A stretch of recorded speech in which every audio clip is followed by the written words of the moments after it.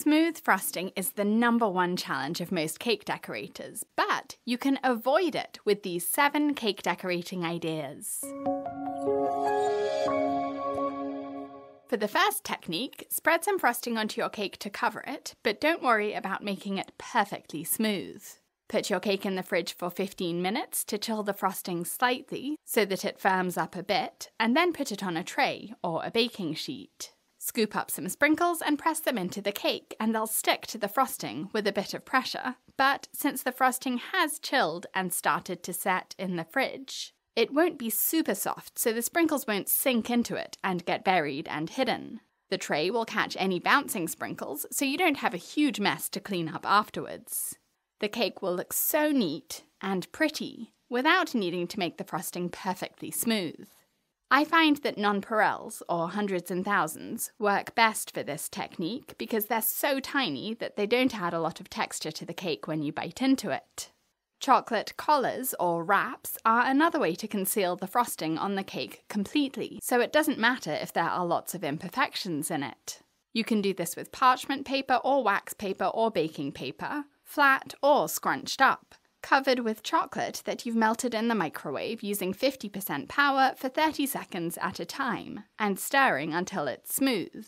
Spread it to cover the paper and slide your hands underneath to pick it up while it's still melted, and wrap it around the cake. The cake should have a thin layer of frosting to cover it to seal in the moisture, but it doesn't need to be neat. Press the melted chocolate against the cake to attach it, and then put the cake in the fridge for about 30 minutes to set the chocolate. Pinch a corner of the paper and peel it away to leave the pretty chocolate wrap behind. You can decorate this with chocolates or flowers on top and a ribbon tied around it if you like. Instead of hiding the frosting on a cake because it's not smooth, add texture to it so that it doesn't need to be smooth. You can use the back of a spoon for this or an offset spatula, pressing it gently against the cake while you spin it on a turntable, and you'll leave grooves in the sides of the frosting. Pull up slowly to drag those grooves all the way up the cake. You can do this vertically instead, pulling upwards, and this is a good choice if you don't have a turntable because you don't need the cake to be spinning smoothly as you do this. This is my 4 minute buttercream and it takes on texture so nicely. Use random movements instead to create beautiful rustic texture with these little arcs. And any of these textures not only avoids smooth frosting, it also creates a stunning base for any other decorations you add to your cake, like flowers. For more defined texture, use piping bags and piping tips, and as many colours as you like. For the best results, spread a thin layer of frosting over the cake first, which seals it to prevent it from drying out even if there are any gaps in between the texture you pipe. I'm using pastel rainbow colours for this cake, with a different texture for each row, for lots of colour and texture and variety. But using the same piping tip for the whole cake can look gorgeous too. This is a petal tip with the narrow end of the tip pointing upwards to make these wavy ruffles.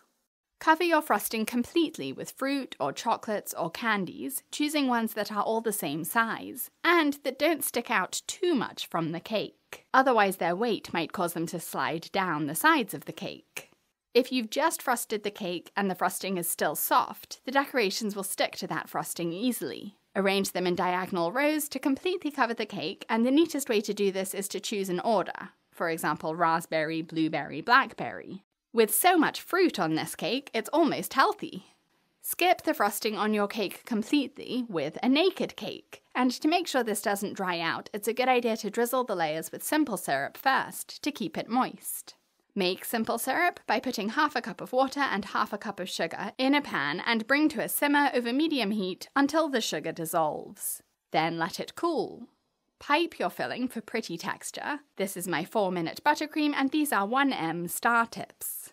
After the cake is assembled, you'll see the colourful texture between the layers, so the cake will be beautiful as well as delicious, and you've saved yourself the time of frosting the outside of the cake. Here's another design that doesn't need any frosting to be spread or smoothed. Bake your cake in a pretty dish and choose some piping tips and colours of frosting. I like to tint small amounts in a cupcake pan because it's much easier to wash this than lots of little bowls. Pipe randomly onto the cake or outline a design with a toothpick and then pipe within that. The colours and piped details make this cake design so pretty and intricate without taking much time and without needing to get any frosting smooth. I hope you've seen some ideas you like. Tell me in the comments which is your favourite idea and visit my cake school at britishgirlbakes.com to learn hundreds of cake decorating techniques and designs. Thanks for watching.